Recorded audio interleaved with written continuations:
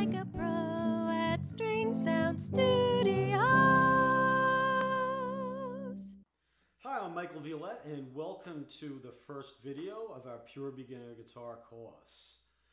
Now, if you're not familiar with some of my other videos, please go back and watch the video Buying Your First Guitar.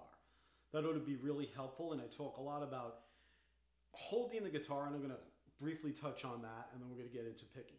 You do want to hold the guitar properly, and that's part of the first lesson.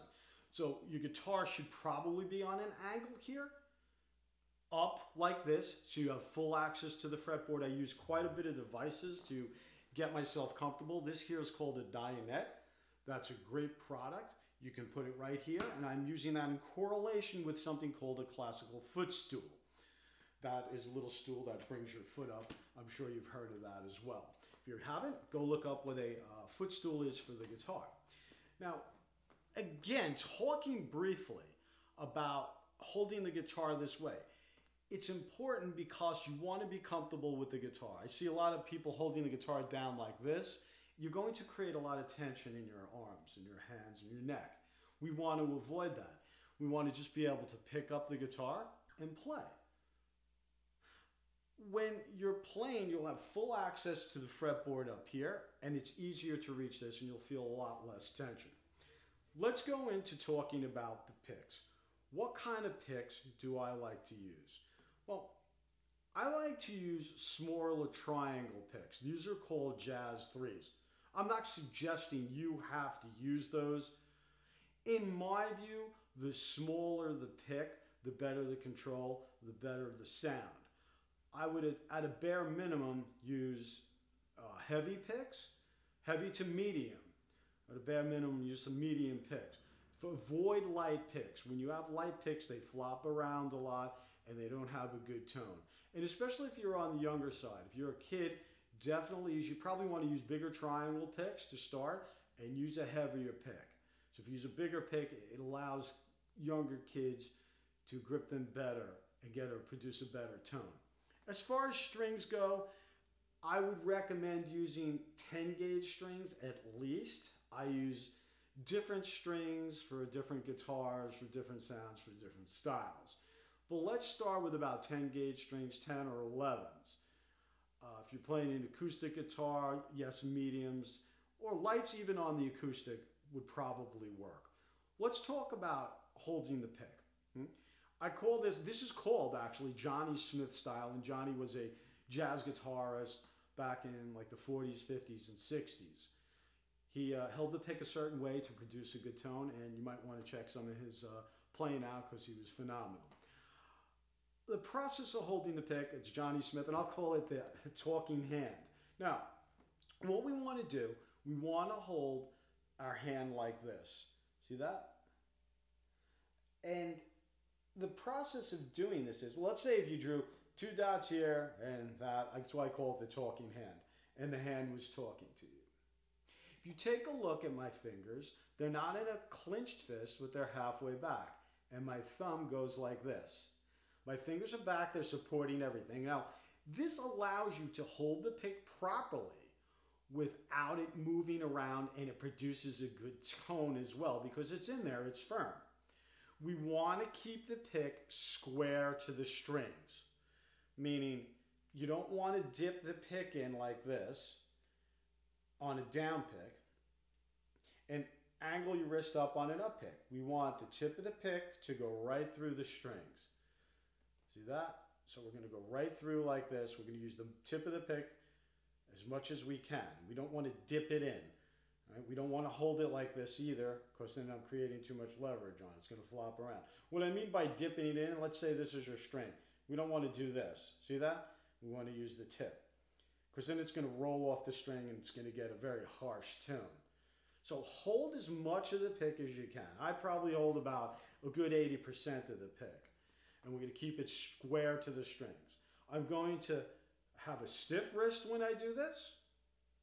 I'm not going to move my wrist like this. Yes, I fan my hand out and I do funky things as well, okay?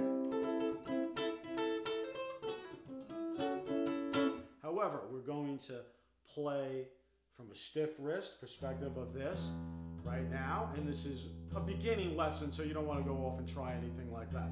If you work, work like this and you learn to do this, then you can do all the nuance later. You can hold the pick like this for different sounds. You can fan your hand out. I want you to get comfortable with this. I flip back and forth between this and this quite often depending on what I'm doing. Right? We're going to use alternate picking down up strokes and we're going to get more involved with that in the next lesson. So I had a lot to talk about on this about holding the guitar, using devices, and of course just holding the pick because this is the first lesson and you really need to know this. Down is this way and up is this way. One of the few things that's not contrary to direction on the guitar. So we're going to go down and we're going to go up. This is down, this is up. Our motion is going to come from our elbow because this is what's going to control volume or dynamics. Volume is dynamics in music. Okay? Soft, loud and you can jump around from string to string holding the pick like this. If you're bracing your hand here and going like this, you can't get around on the strings. So we're going to use the tip of the pick. Okay, we don't want it to dip in. Uh, we're gonna, it's going to point in towards the guitar. So here's a demonstration on the first string. This is the first string on the guitar. If you're new to this and you don't know that, this is the sixth string. I'm using a six string guitar. There are other types of guitars. So this is my sixth, this is my first. Now, and the first string is the highest sounding string, open string on the guitar. And we're going to do what I just said. We're going to use the tip of the pick, and you're going to do this with me. Ready? Three and four and.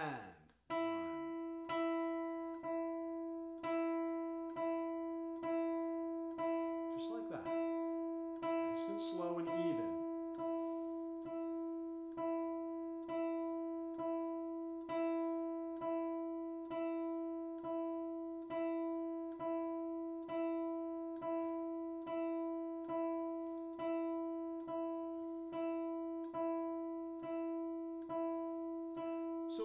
A small recap. Hold the guitar properly, use it, uh, get it on an angle, use some devices to help you. Holding the pick in this Johnny Smith style, if you would. Okay? See that? Holding it like that, the talking hand. The pick points in towards the guitar. You keep it square to the string. You don't down it like this on a down pick and then up like that. You don't dip the pick into the string. We don't want to do this. Okay? We want this.